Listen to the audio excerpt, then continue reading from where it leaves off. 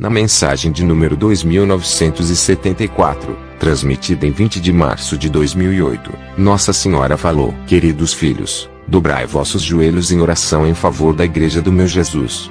Sabei que de agora em diante haverá mais desprezo aos sacramentos e os ministros de Deus serão desprezados e perseguidos.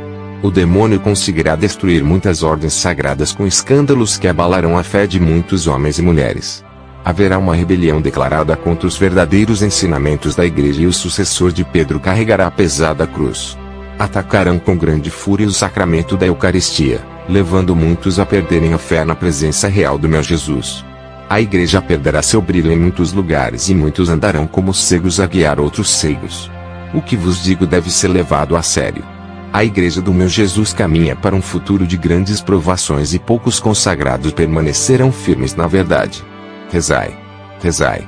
Rezai. O Senhor vencerá. Escutário. Esta é a mensagem que hoje eu vos transmito em nome da Santíssima Trindade.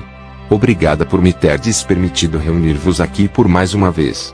Eu vos abençoo, em nome do Pai, do Filho e do Espírito Santo. Amém.